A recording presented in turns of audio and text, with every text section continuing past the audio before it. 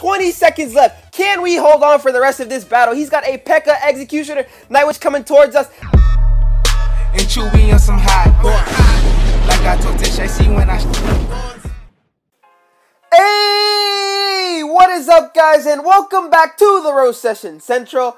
I'm the Nigerian Nemesis, and in today's video, we're gonna do something absolutely crazy and play with this Spellcaster deck. Shout out to Leo. It was his idea. He asked me if I can do this. And as you can see, we have four troops, Wizard, Ice Wizard, E-Wiz, and Witch. And we have what they spawn with as spells as a Fireball, Freeze, Zap, and Graveyard. So what we're to do is take this deck and hop into some Grand Challenge matches and see what we can do with the Spellcaster. So I guess technically we have 12 cards in our deck almost you could say, since we have all of these spells and all of these Spellcasters.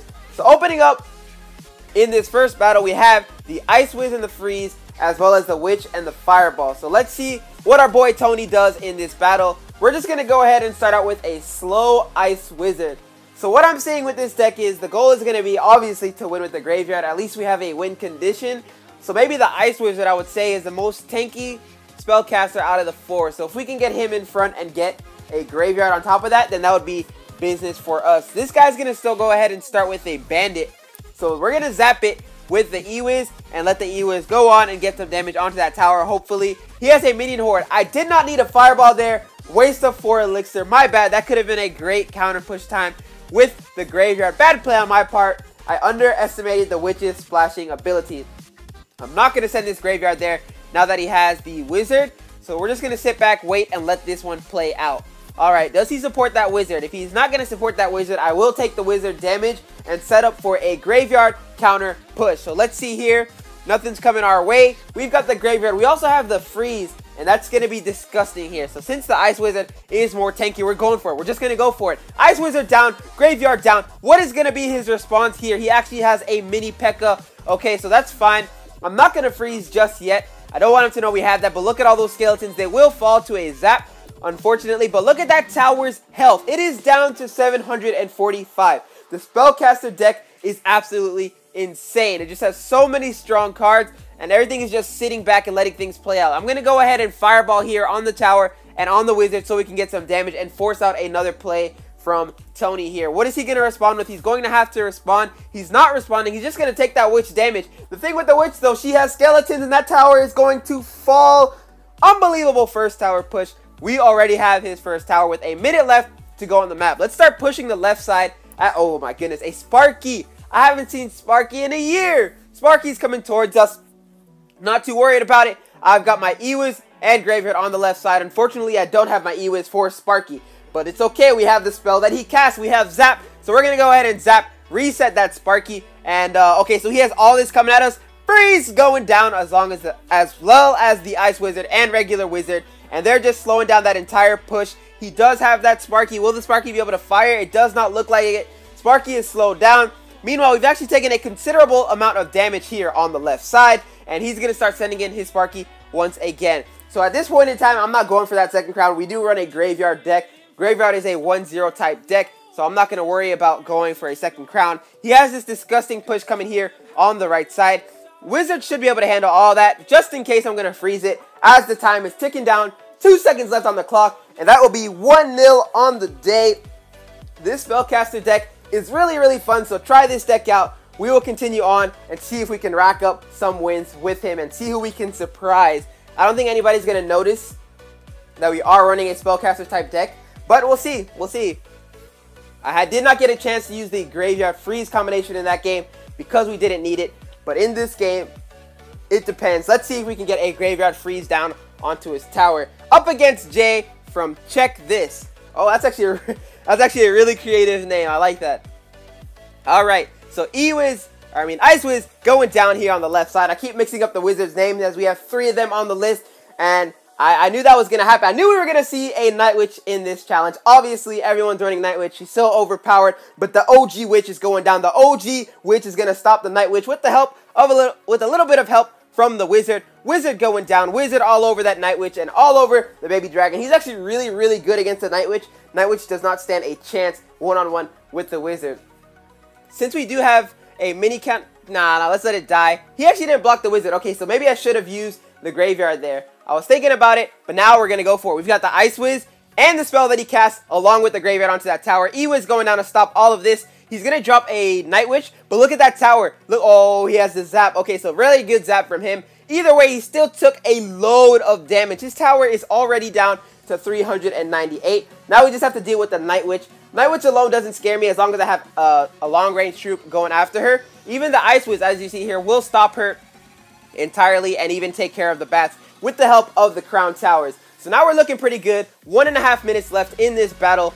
Let's see what we can do here. He's going to start with another tombstone in the center. My witch is going down in the back right, walking her way slowly but surely up to his right tower. Alrighty. He actually has a Lava Hound deck.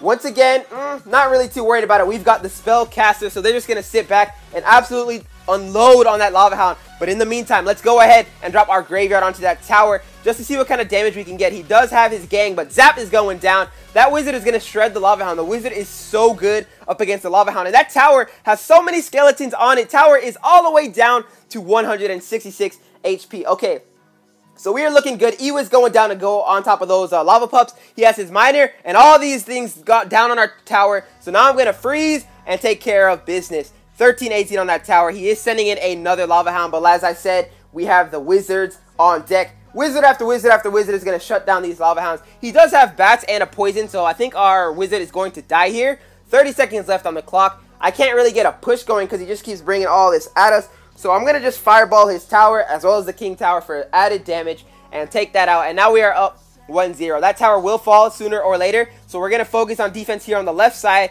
and freeze all of his troops and take care of business.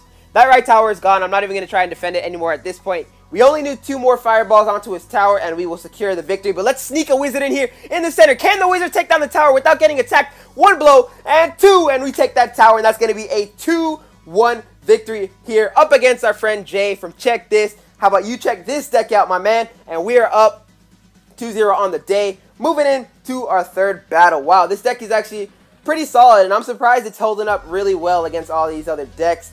I did underestimate these cards, and uh, they're proven to be really strong. So I'm going to try bringing the Night Witch back into it. Look at our opening hand. Forget what I was saying. We have all four spells in the opening hand. Terrible hand. Hopefully our friend here plays something first. Up against Muhammad Allah from the dark side too. Alright, he did play his miner, so I'm just going to go ahead and zap. Leave his poison alone. I don't want to give him any value at all whatsoever. So we're just going to chill here and bring out the OG Witch starting on the back right side and see how he decides to respond. He should be very low in Elixir, although he did get a decent amount of damage there on the left side. And, uh, okay, so he has an Executioner. Lovely. That's what, not what I want to see, but that's alright. We've got our Graveyard going down. And we haven't tried this all day, so let's go ahead and freeze the bats as well as the Night Witch and see what kind of damage we can do to this tower. And he plays his Goblin Gang. Unfortunately, we did not have the Zap spell in rotation, so now we have a counter push and a half coming back towards us. Wizard going down in the center, and we're going to have to zap all this as well. Take down the bats, take down the uh, Executioner sooner or later. Executioner will fall, but not after doing astounding damage to our tower. We even have a almost dead Night Witch onto our tower. She's going to spawn four more bats. I'm not going to waste any elixir defending against that. Instead, Let's go ahead and reset, recharge, and get ready to take that tower. Alright, we're sitting at 7 elixir. Hmm, that Night Witch Executioner Tornado is going to be a pretty tough challenge for us, but not to worry. Ice Wizard to the rescue here in the right side. 1275 and 1910 left on our crown towers. He has a P.E.K.K.A. Okay, so we're just going to go for it. We're going heavy. Go big or go home, as they always say. P.E.K.K.A. will be not that difficult to deal with. We do have the Witch, but it will become very difficult if we let him build up a P.E.K.K.A. push. He's going to stop our Graveyard over there pretty solidly with the Goblin Gang, but not after receiving over 800 damage. So now I'm going to drop the Witch. She does really, really well against the P.E.K.K.A. He's going to take forever to get to her if the Night Witch was not behind it. So now we have a hefty, hefty push. But the Night Witch P.E.K.K.A. is not really a great push because nothing is splashing and the Night Witch is a close range troop. So we just have to make sure we take care of these bats, zap everything.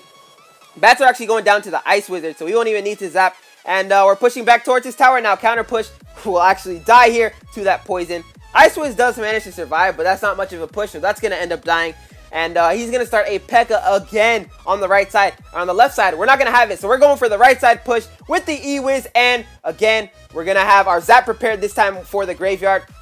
And we're going to freeze his E-Wiz. Oh man, not in time though. We would have been able to take his E-Wiz out. But that's okay. We have 18 million skeletons onto his tower. And that's going to be 1-0 20 seconds left. Can we hold on for the rest of this battle? He's got a P.E.K.K.A. Executioner, Night Witch coming towards us. Uh, 15 seconds left. Can we hold on? We just need to hold on a little bit longer. We have all this coming towards our tower. If we can hold on, we cannot. Unfortunately for us, that right tower is already down to 100. So that's going to be good game and well played on our man's part here. This deck is actually surprisingly really solid for us. And uh, I don't know what I did wrong there. I don't know how I could have played that any better. If you guys have any suggestions, leave that down in the comment section below.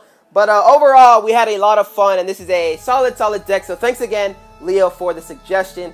It was a very good one. Here's the deck for you guys one more time. With the Wizard and his Fireball, Ice Wizard and his Freeze, Electro Wizard and his Zap, and the Witch and her Graveyard. So, thank you guys so much for tuning into this video. I hope you guys enjoyed it. If you did, make sure to drop that like and if you're not already subscribed to the channel, go ahead and do that as well. And I hope you guys go on and enjoy the rest of your day. Peace!